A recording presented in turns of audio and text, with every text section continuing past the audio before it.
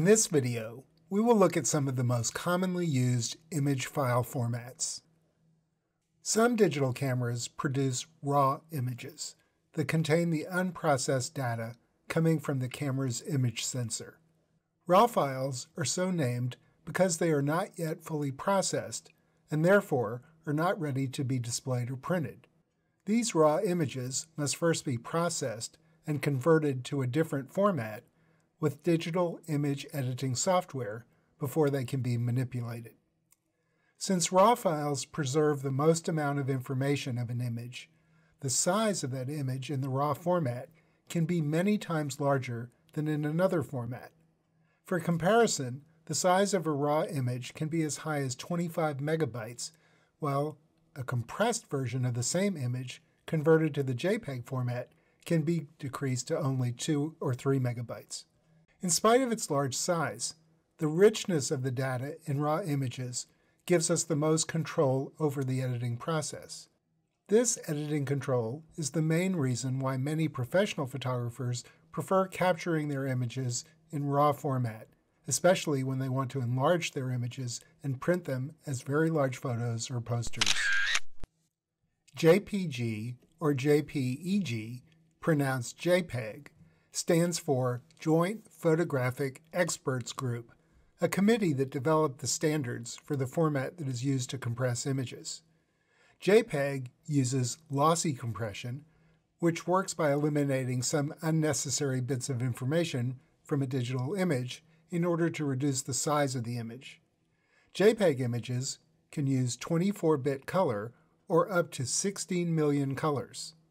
This color richness in addition to its smaller size, makes JPEG one of the most popular image formats, and it is now the standard file format for most digital cameras.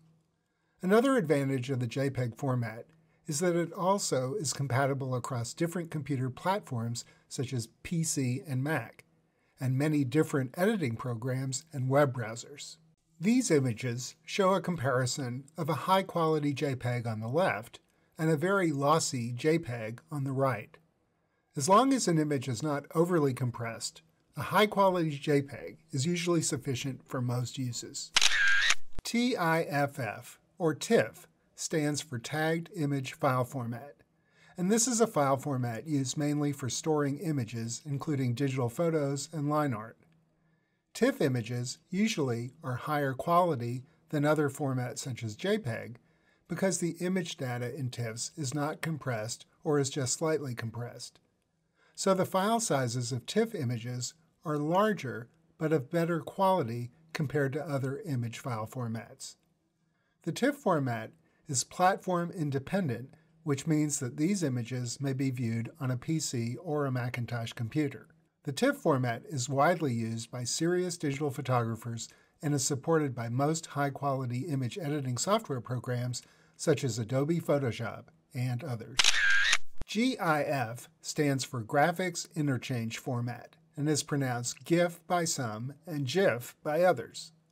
This image format only supports 256 colors, which makes the file size of GIF images relatively small compared to JPEGs.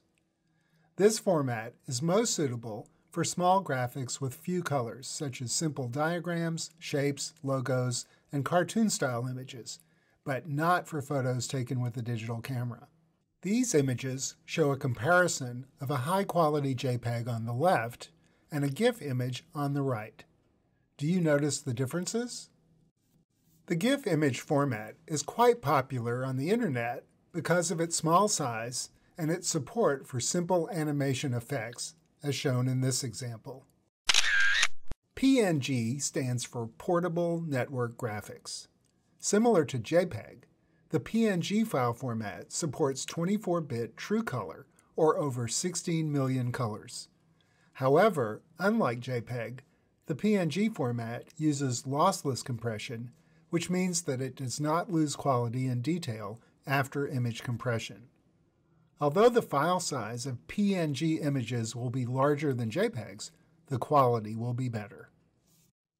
Another advantage of the PNG format is that it supports transparency.